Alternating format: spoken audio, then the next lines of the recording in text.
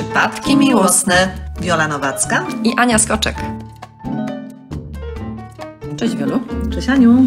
Pierwszy raz chyba, tak? Pierwszy raz w nowym roku. A tak, rzeczywiście. Mamy nowy rok. Nie pamiętam takiego roku, żeby aż tak zewsząd docierały do mnie informacje, takie bardzo, bardzo szeroko zakrojone analizy dotyczące samotności w tym okresie świąteczno-noworocznym.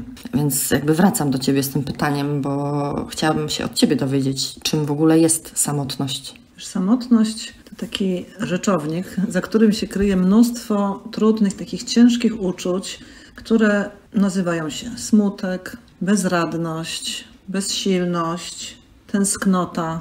To są takie uczucia o bardzo niskiej energii, która nieleczona może sprawiać, że wpadniemy w depresję. To są takie uczucia trochę przypominające stan przewlekłej żałoby. I jak jesteśmy sami, to zwykle długo, to zwykle taki stan zaliczamy. Czyli jakby żałoba za nieobecnością innych ludzi. Ponieważ jesteśmy istotami stadnymi, i po całych tych latach mody na singlostwo i tak dochodzi do nas jak bumerangiem to znane nam uczucie, że bez tej drugiej, w ogóle bez osób bliskich przy sobie, czujemy w końcu zawsze to samo uczucie. Pustkę, smutek, to osamotnienie, tą bezradność w sumie, że nie jesteśmy jakby kompletni bez innych ludzi wokół nas. Nie mówię koniecznie o byciu w parze, ale to no też właśnie. jest ta podstawa, wiesz, żeby mieć kogoś do bliskich bardzo relacji. Czy to jest przyjaźń, czy to jest miłość. I zobacz, jak był ten czas przymusowej izolacji, te dwa lata, to właściwie moim zdaniem nasiliła się ta społeczna plaga osób, które gorzej sobie radzą teraz z byciem samym. Czyli co tak jakby się to spolaryzowało i jakby ten czas pandemii, pozamykania nas w domu sprawił, że jest część osób, która ma e, fajną, zgraną grupę przyjaciół, bliskich, rodzinę i tak, tak. dalej i jest ta grupa osób, która tak. została kompletnie sama. Tak, spolaryzowało się to dlatego, że właśnie ci, co nie mieli tych umiejętności społecznych, właśnie zostali wyizolowani. Bo oni tak to się przy okazji, tak? Tak, gdzieś się zawsze, tak, mhm. gdzieś się przyklejali do czegoś, do kogoś, nie musieli wkładać wysiłku, a i tak to im było dane, bo przecież życie społeczne było, po prostu toczyło się, a teraz się przestało toczyć. Oni tych kompetencji nie wypracowali, nie mają. No i dotkliwie właśnie ta część społeczeństwa odczuwa to uczucie. No bo po pandemii nie do końca chyba wróciło to takie jeszcze życie takie normalne? Nie wróciło, ponieważ wiele nawyków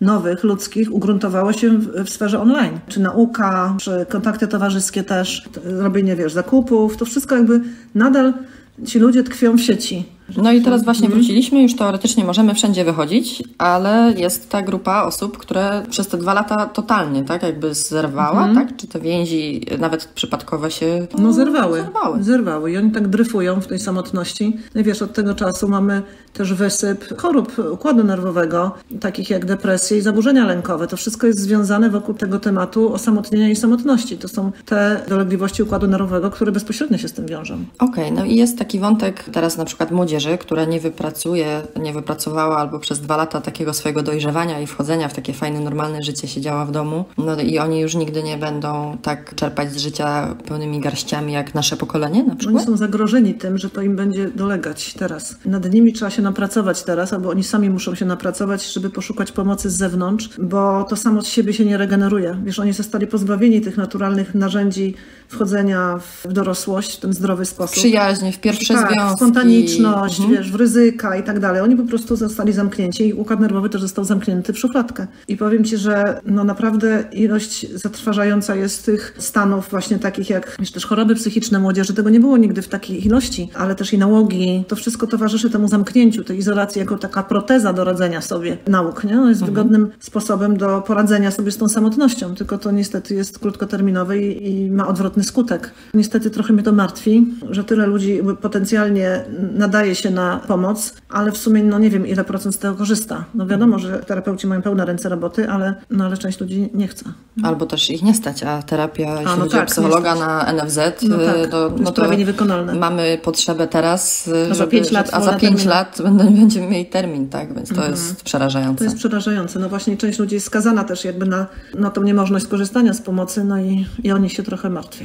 No to przechodzimy o te kilka lat do przodu, czyli mówimy już tutaj o takich 20, około około 20-latkach i pokazywałam Ci ostatnio kilka razy taki program o takich właśnie około 20-30-latkach w Stanach, gdzie można pewnie też jakoś zaobserwować, w którym kierunku my zmierzamy, bo, bo, bo trochę to tak wygląda i trochę to tak jest. Program nazywa się Catfish i opowiadał, na przykład opowiada historię ludzi, którzy przez 10 lat korespondują ze sobą, piszą ze sobą. Rekordziści mieli 18 lat. T- tak, tak, był taki program o 17, tak, czy 18 A, lat, pół życia, pisali tak, ze sobą, młodego. Tak. bo tam były takie przypadki, że ludzie przez te 10 czy nawet te 18 lat nie rozmawiali ze sobą Tak. przez telefon, nie widzieli się na wideo rozmowie, Tak. nie Nie mówiąc... słyszeli własnego głosu. Tak, ale nie mówiąc już o tym, żeby się dotknąć, przytulić, cokolwiek spędzić. I uważali, sobą. przynajmniej jeden z nich uważał, że są w związku. Że są w parze, tak, że tworzą związek. Mhm. nie? Powiedz mi, co, co to jest w ogóle za kawałek naszego współczesnego świata? To jest jakiś całkowicie jakby obraz, jak to społeczeństwo ma skrzywione pojęcie o tym, czym jest w ogóle relacja. U nas się to nie mieści w głowie. No ja też oglądałam to z włosami na głowie zjeżonymi. Co tu jest grane? Że na tak masową skalę to zjawisko istnieje, jak tworzenie tych wirtualnych związków przez tak długi czas. I że wiesz, że ludzie nie mają takiej potrzeby sprawdzenia, gdzie są fakty. Tak, dla mnie to zawsze pachnie jakimś niezdrowiem psychicznym, że można tak sobie zbudować pojęcie relacji. I że zazwyczaj myślę, że to są osoby, które też nie miały zdrowych wzorców tworzenia relacji i nikt ich nie nauczył, co to znaczy tworzyć związki. No i oni to sobie poprzeczytali albo klikali w sieci, no i tak, się, tak jak umieli, tak to robią. Czyli w ten zastępczy sposób, czyli wirtualnie. Czyli to też można powiedzieć, ale na pewno jest coś takiego, że to wynika z samotności. No, tworzenie takich relacji bez bliskości, bez... No tak, można powiedzieć, że to jest taki smutny też rezultat życia w samotności, że im potrzeba tak niewiele do tego, żeby coś nazwać miłością, żeby coś nazwać miłością. uczuciem, przygodą i związkiem. Tak, że można tak w tym bele jakości tkwić tyle lat i jeszcze mówiąc, że to jest fajne.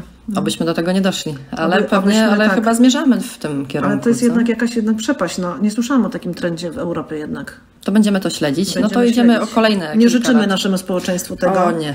Tak, życzymy tego, żeby z samotnością, no właśnie, żeby co? Żeby samotność oswajać? Żeby samotność oswajać, żeby zacząć rozumieć, skąd się bierze, jak ją zdrowo przetwarzać i żegnać w sobie, jak witać umiejętności zdrowych relacji. No to wiesz co, to jeszcze przeskoczmy kolejne kilka lat do przodu, czyli mówimy tu o takich 30-40-latkach, czyli ludziach, którzy zazwyczaj są albo w związkach, albo w związkach małżeńskich. I teraz powiedz mi, czy można być samotnym będąc z kimś? No pewnie, że można. Wiesz, jeśli wchodzimy w takie związki dla wygody albo dla bezpieczeństwa, mając zabezpieczonym tylko sobie jakieś kilka tam potrzeb najważniejszych, czyli z kompromisu, związki, albo właśnie jakąś wygody, dlatego że ludzie martwią się, że sami nie przeżyją.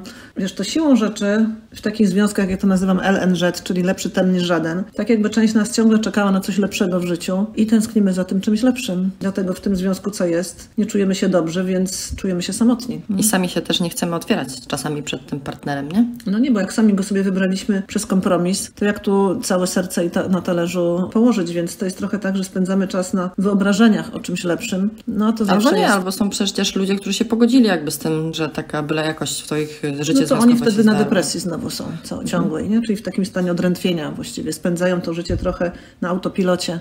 No to jeszcze smutniejsze jest, nie? że to nawet nie na marzeniach. No bo to w tym momencie Mhm. ten partner nie jest ani przyjacielem, ani kochankiem, ani tak właściwie jest współlokatorem. Tak, można spędzać życie, a można je przeżyć. W zależności od tego, na ile rzeczywiście chcemy usłyszeć ten głos wewnętrzny, gdzie ta prawda wewnętrzna o naszym życiu jest. No ale jak ludzie wchodzą w związki lepszy ten niż żaden, to siłą rzeczy myślą, że nie stać ich na nic lepszego i do tego zadowalają się tym, co mają, ochłapami.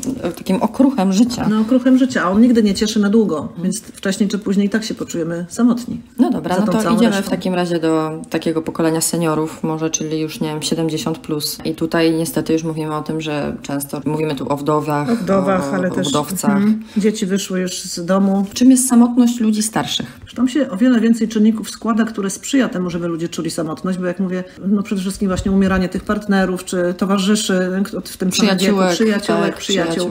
No wiesz, ludzie żyjąc często nieświadomie, czyli na autopilocie, mają swoje takie ograniczone sposoby do radzenia sobie, czyli takie wyuczone. No jak mówią, no skończyły mi się, bo poumierali mi, no to nie mają pomysłu albo nie chcą wygenerować nowych źródeł przyjaciół i znajomych. Ale wiesz, no starsi ludzie się boją aż takich zmian. No właśnie, o tym bo to mówię, jest, boją się. starsza, No tym jest trochę trudniej tak Nie wychodzić jest z tej do końca strefy z komfortu, wiekiem, z nie? wiekiem związane, tylko z przyzwyczajeniami. Im dłużej żyjemy na autopilocie, autopilocie, tym większy strach przed nowym. Dlatego w wieku starszym jakby zbieramy pokłosie tego wszystkiego, czym byliśmy. Jeśli żyliśmy całe życie na autopilocie i nieświadomce, no to taki strach będzie z nami na starość i nie będziemy mogli znaleźć w żaden sposób rozwiązań. Jak je znajdziemy, to będziemy się ich bać. No i dlatego tak mało ludzi w, wieku starszym żyje świadomie i wesoło i umie się zorganizować i wie, gdzie znajdować przyjaciół nowych, jak umierają starzy i nie boją się po to sięgać. W swoim wieku albo No młodszych. tak, bo wiesz, jednak ciągle obiektywnie źródeł poznawania ludzi jest w każdym przedziale wiekowym tyle samo. Mamy kluby dla młodzieży i kluby dla seniorów. Kluby dla młodzieży zazwyczaj sportowe, a kluby dla seniorów to są takie kluby, w których są czy dyskusje o filmach, książkach. Tak, ale są też wy- bardziej statyczne. Niekoniecznie, nie, nie. Znam kluby turystyczne dla seniorów, znam, Ja znam e, jogę. roz- rozrywkowe, znam szachy, znam ogr- ogródkowanie wspólne dla, dla seniorów. Wiesz, naprawdę jest w każdej dziedzinie pełno aktywności dla seniorów, tylko chodzi o tą gotowość i wyjście do tych nowych ludzi. Ale widzisz, jak jesteśmy całe życie właśnie w tym strachu albo w przyzwyczajeniach, to Tylko z jakiegoś też powodu tego nie wybieramy Starsi ludzie mają ograniczone możliwości poszukiwania też tych możliwości, no bo może nie są na tyle biegli w obsłudze komputera, internetu. Może i nie są, ale na pewno wiedza pod tytułem jak się nauczyć obsługiwać komputer już dzisiaj jest taka powszechna, że jak ktoś nawet wpadnie na to, że nie umie, to może gdziekolwiek pójść, gdzie go nauczą. Rozumiesz? I nawet tu nie ma wysiłku wielkiego do wykonania, bo to nie jest już wiedza unikatowa dzisiaj, jak się poruszać w komputerze. Nie do końca myślę, że to jest obiektywna przyczyna, tylko też jest kwestia myślenia, że ja nie mogę. Albo że się boję. I to zawsze można pokonać znowu też w każdym wieku, bo to No są właśnie, tylko strachy. No to, to już Mhm. y, może rozszerzmy znowu ten e, wachlarz możliwości, o których mówimy i ten wiekowy, o którym mówimy.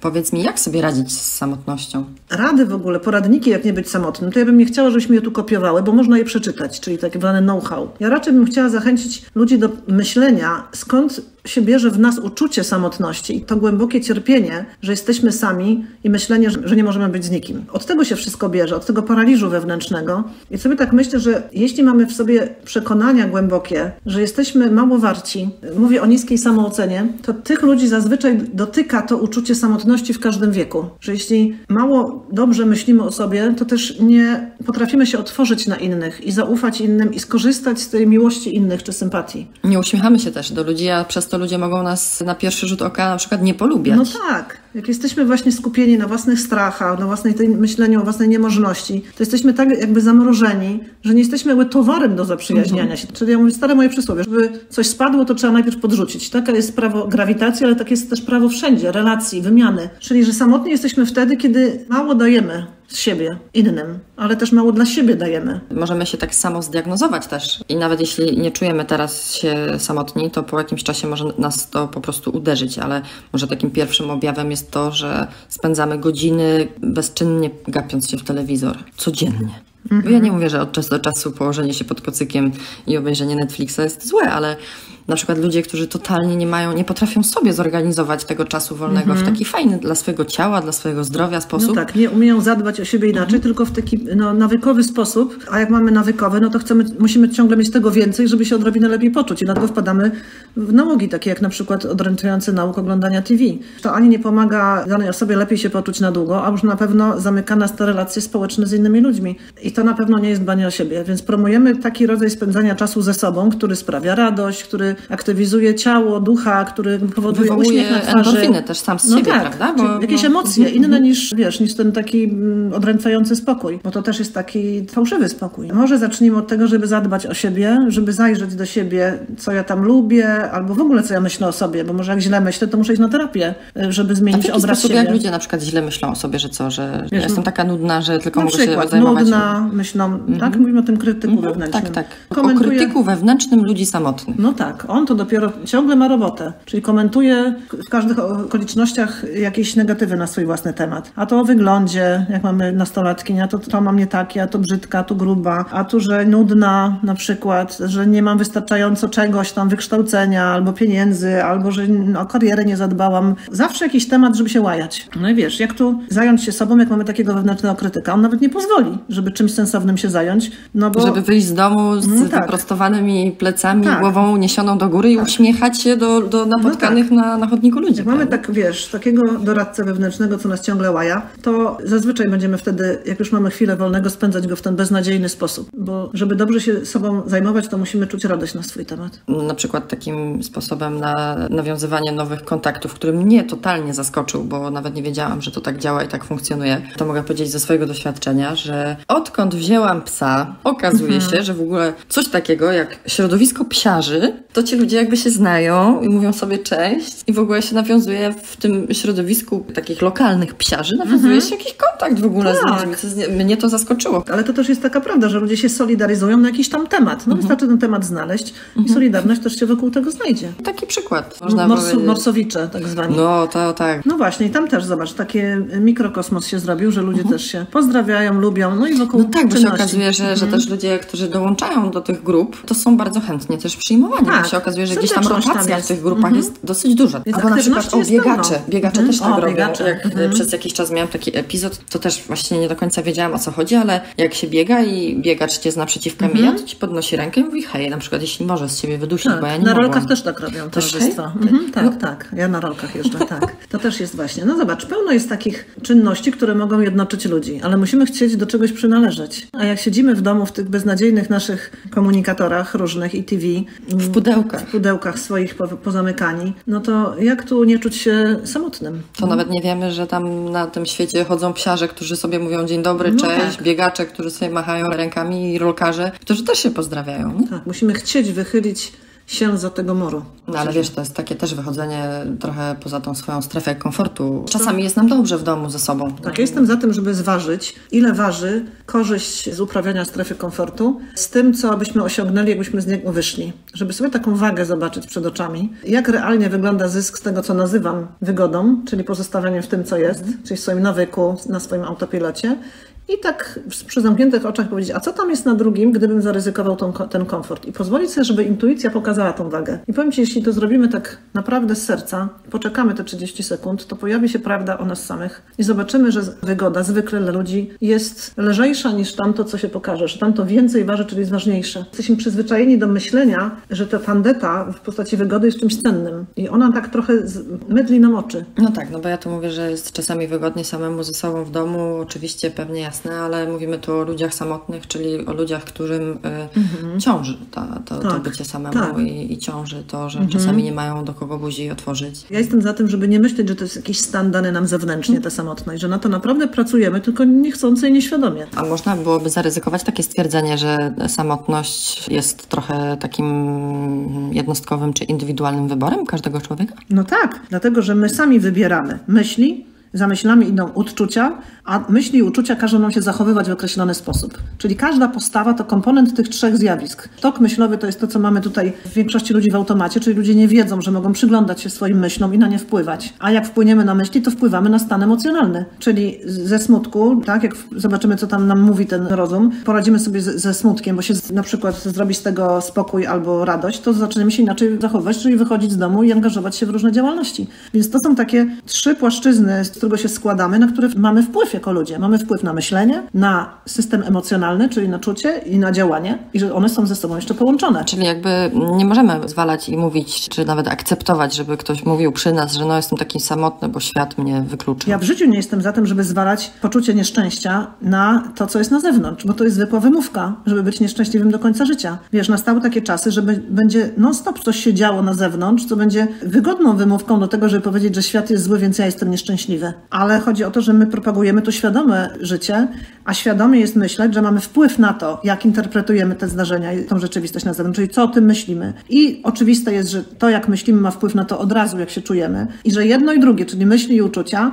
są pewnym materiałem do zachowań, czyli do działania w określony sposób. I że my możemy na to, na to wpłynąć, zwyczajnie. My tutaj podałyśmy kilka przykładów, ale tak naprawdę no, wachlarz jest przeogromny. To jest to, co powiedziałaś, że można wziąć książkę i czytać i proponować, tylko jakby trzeba się na to zdecydować. Bo nawet jeśli nie mamy predyspozycji do sportów żadnych, to akurat do spacerów możemy mieć już, bo każdy Mhm. człowiek sobie może spacerować w swoim tempie, no ale też przecież są różnego rodzaju wolontariaty w schroniskach dla Jest bezdomnych wszystko zwierząt, dla ludzi. do działań. Jest wszystko dla każdego w tym świecie, żeby czuć się szczęśliwym i Potrzebnym, żeby, móc, żeby tak, przebywać wśród ludzi i tak dalej. nie? Naprawdę jest wszystko. Ograniczamy się sami swoim sposobem myślenia, a zatem jesteśmy na przykład smutni. No, A jak jesteś smutny, to jesteśmy samotni i nie ruszymy dupy. Więc tak to działa. I tak sobie usprawiedliwiamy i sobie kupimy tak. popcorn i sobie No tak. usiądziemy i I włączymy znowu sobie pomyślimy, w jaki to świat zły, jakie to ludzie są trudni. Tak, tak. Wiesz, to jest działa jak, y, wiesz, koło zamachowe. No takie jest też samo nakręcanie się, nie? Tak. że potem siedzisz w domu i sobie tak Ale myślisz. jednak no. wszyscy są do bani, a jednak to. I to jest taki dobry, można powiedzieć, moment przejściowy, czyli wyjście z tej takiej samotności swojej, z tego pudełka z głowy. Dobry początek na przykład na danie sobie szansy, żeby znaleźć drugą połówkę, bo jesteśmy w przypadkach miłosnych. No tak. Więc jeśli wychodzimy do ludzi, pojawiamy się w innych przestrzeniach, tak? W jakichś Mhm, takich... Dajemy szansę na miłość wtedy. Nie? No bo już tą miłość czujemy- czasem możemy się potknąć, nie Tak, oszukujmy tak. Jak się. mając, wiesz, jak się czujemy samotni, to często możemy miłość przegapić, co leży na chodniku. Jak mamy to takie zapętlenie w tym poczuciu beznadziei osamotnienia. Dlatego zmieniajmy się od środka najpierw, a wtedy miłość po prostu Mhm. nie zostanie przegapiona. Tak, i tutaj też trochę pewnie może taka mała szpileczka w te wszystkie aplikacje internetowe, w Tindera najbardziej popularnego, że to też nie jest jedyne miejsce, w którym dzisiaj można miłość, czy taką potencjalną miłość znaleźć, bo Tak, jestem za tym, żeby przestać myśleć o Tinderze jako zbawieniu. bo dla naprawdę- wielu osób, wiesz co, to jest taka ostatnia, że jak już tam nie znajdziesz, to już w ogóle A to jest nigdzie właśnie odwrotnie, nie? bo to jest to myślenie odwrócone, że ludzie zrezygnowali z aktywności na rzecz internetu i niestety modlą się do tego internetu, a tam jest wszystko, widzisz, i dlatego tak łatwo się o to potknąć i e, dać się, wiesz, zwieść czy oszukać. A musimy wrócić do tych tendencji sprzed lat, żeby zastanowić się, gdzie ja lubię być i co lubię robić i tam pójść. Na co lubię patrzeć. Na co lubię patrzeć. I tam dopiero spotkamy innych takich, czyli podobnych A. do siebie ludzi. No? Więc musimy zacząć myśleć o tym, gdzie ja mogę i chcę wychodzić, bo już możemy wychodzić. No tak. Tylko, że widzisz, głowa nasza No tak, ciągle ale to masz uwięziona. do, dobrą tą Mhm. obserwację, że właśnie jeśli okaże się, że lubimy chodzić na spacer nad jeziorem, no to tam spotkamy Bliskich innych tam, ludzi, którzy to- lubią tak. chodzić na spacer nad Czyli jeziorem. pokrewne dusze. Jak lubimy gotować, to chodźmy na kursy kulinarne i będziemy wspólnie A jest szukali. tych kursów Ale pełno jest wszystkiego. Jak lubimy śpiewać, to chodźmy na chór, albo na morsować, albo na rolki, no cokolwiek dla kogo, albo na szachy. No Mhm. zawsze znajdziemy tam bratnie dusze. Tylko musimy zadać sobie ten trud i zgadnąć, co tam potrzebujemy wewnątrz. Czyli No, zająć się sobą od odkryć, środka. pogadać ze sobą, No tak. mm, co To lubię. jest praca nad sobą, tak? I musimy wyłączyć tego autopilota, bo jak nam autopilot za nas życie robi, to takich pytań sobie nawet nie zadajemy. Kim my jesteśmy i po co w ogóle to wszystko. co lubimy robić i jak, jak lubimy spędzać wolny czas, Tak. bo, bo dla wielu Mhm. osób Co naprawdę mnie uszczęśliwia, co mi sprawia radość, co mi robi spokój, co mnie rozwija. Nagle się okazuje, że tego wolnego czasu jest bardzo dużo, jeśli się nie spędza go przed telewizorem, nie? Pewnie. Można iść, no nie no właśnie, co ja tu będę mówić, co można robić, przecież Tak, kurs salsy, kurs tanga. milion, strylion rzeczy. Naprawdę. Można na saunę iść albo morsować właśnie, to są dwa bieguny, jest tyle No możliwości. Tak. Nie ma co mówić, że, że nie ma wyboru, Mhm. bo to jest grzech. A powiedz mi, co to jest za przypadek, bo znam też takie osoby, które odkryły tę e, prawdę, o której mówisz, czyli to, to prawidło takie, że spotykamy w jakichś miejscach ludzi właśnie o podobnych e, zainteresowaniach, pasjach i tak dalej, no ale teraz nagle okazuje się, że próbują tych pasji 15 tysięcy i trochę tak zmieniają, nie? Tu są miesiąc, tam są miesiąc, tu się zapisu, zapisują na jakiś kurs, tu na jakieś studia podyplomowe, ale to wszystko trwa bardzo krótko i po prostu tu skaczą, tu skaczą, No i o co pytasz? No i nie Dlaczego tak ludzie robią? no i tak, dlaczego ludzie tak robią? Sobie serwują coś takiego, tysiąca skoro z tego tysiąca miejsc, które testują, Mhm. na przykład nie wychodzą z żadnymi ani znajomościami, albo relacjami, albo no, z niczym. No Okej, ale ludzie próbują różnych aktywności z bardzo wielu powodów. Na przykład jedni dopiero co zaczynali odkrywać, kim są, jak siedzieli w tym pudełku swojego umysłu. I dla nich, widzisz, to zwiedzanie różnych aktywności może być właśnie zwiedzaniem rozwojowym, z którym oni czerpią choćby taką informację, że to jeszcze nie jest to, co mi jest potrzebne. I oni mogą takich odbyć, wiesz, paręnaście lat, zanim wpadną na to, co ich cieszy. Ale na razie niech sobie to robią. Czyli jeśli to robią właśnie po to, żeby poznać siebie, to chwała im za to. Ja bym nie oceniała tych ludzi, że wychodzą z niczym. Może właśnie wychodzą z tą wiadomością, że to nie jest to i idą szukać dalej. Ale doświadczenie już jest za nimi, czy oni są bogatsi o zobaczenie, o przejrzenie się w tym doświadczeniu. Samo to ludzi często ubogaca o to, co nazywamy wiedzą o sobie. Wiesz, ludzie też wpadają w te aktywności, coraz to nowsze rzeczy z powodu uzależnienia od czynności. Widzisz, poga- Od bodźców. Tak, od bodźców. Są Jest taki gatunek ludzi uzależnionych od przeżyć i adrenaliny.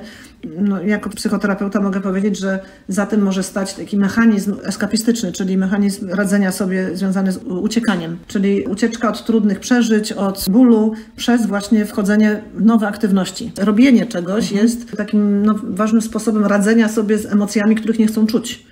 I to jest odrętwiające na wiele lat, bo czynności zawsze jest od, od cholery do zrobienia i, i wiesz, najważniejsze, żeby zdać sobie sprawę, jaką to ma funkcję. Jak ludzie odpowiedzą sobie, po co to robię, to często, wiesz, zamiast tego pójdą na terapię i odkryją kulisy tego mechanizmu eskapistycznego, co tam za nim stoi i od czego oni uciekają z przeszłości.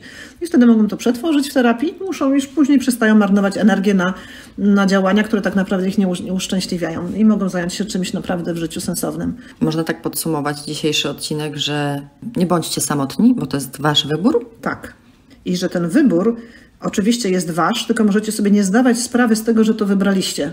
Ale nazwijmy to wyborem, bo wtedy to ludzi zachęci do główkowania. Jak to wybrałem, albo jaka część mnie to wybrała, której nie znam, hmm? a może chcę poznać. Co za mnie wybiera we mnie mhm. tą samotność. Co, co ją mhm. powoduje, co ją sprowokowało, tak, ale tak, we mnie. Ale nie, we nie skupiajmy tak, się na tym, co ją tak, sprowokowało tak, na dworze, bo mam głupich sąsiadów. Tak. Nazwijmy to wyborem. Możemy dodać, możemy wybierać świadomie lub nieświadomie. Obie części w nas są, jako ludziach. Obie pochodzą z różnych części mózgu. Część świadoma, dodajmy, to jest kora nowa, która ma tylko 20% mózgu, nasz umysł świadomy dorosły, i część podkorowa, gigantyczna, 80% układ limbiczny, mózg saczy, który też wybiera za nas, tylko nieświadomie. On też stanowi 80%, więc dobrze by było zastanowić się, jakie to mechanizmy właśnie mieszkają w tym nieświadomym mózgu, bo tak czy inaczej i tak jesteśmy na nie skazani, skazani, więc lepiej się z nimi zapoznać i zobaczyć, co to tam za nas wybiera, bo takie metody już są dostępne w terapiach współczesnych, żeby się z tym przywitać. Tym, co mhm.